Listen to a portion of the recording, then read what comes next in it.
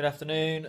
This is Damers Daily number six, and have a good PT session this morning. Awesome session. Um, it's a little quick uh, message today. Nothing exciting exciting's really happened. Um, just training as usual. gonna pop around friend's house later, catch up with them, which will be good. Um, but one little point.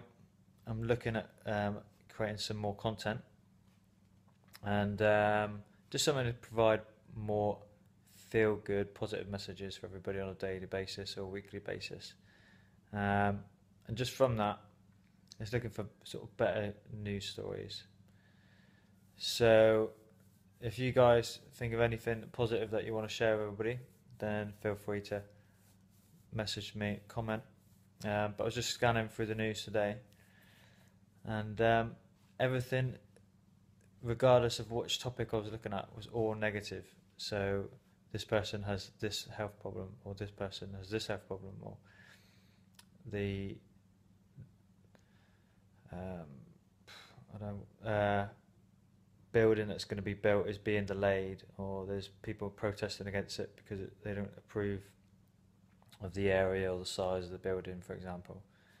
Every single article that I scanned across in just the last five ten minutes as being a negative one.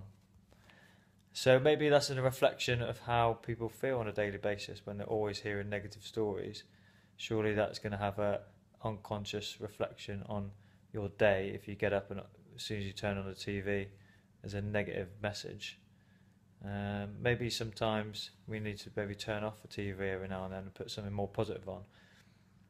You know, and focus on that and focus on the positive elements we have in our lives that will make us, you know, that make us happier in the day, then always listen to these messages from the media, in the, you know, on the news, in the papers, on the internet, on Facebook. People may be complaining. You know, it's always, always negative. So that's going to have a reflection on you. So sometimes maybe think about it, and maybe can you not take so much notice of those stories. Maybe focus on the positive elements of you you've got in your life, and also the positive elements that may be going on around you, or you might pick up in the media rather than always focusing on the negative points that are being broadcasted all the time. So, um, yeah, so that's my message for today.